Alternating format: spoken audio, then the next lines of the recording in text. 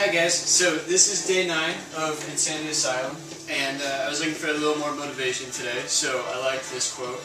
Uh, life doesn't begin until you've stepped out of your comfort zone, and uh, this program definitely makes you step out of your comfort zone.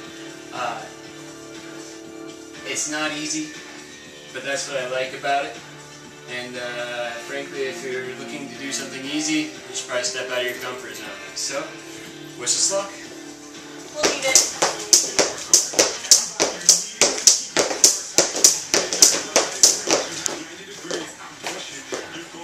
Oh my god. Hi.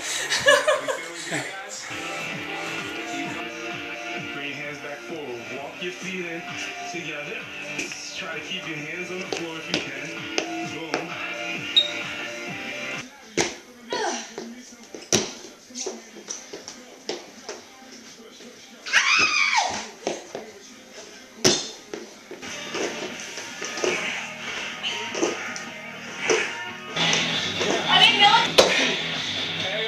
kick forward, but she's still getting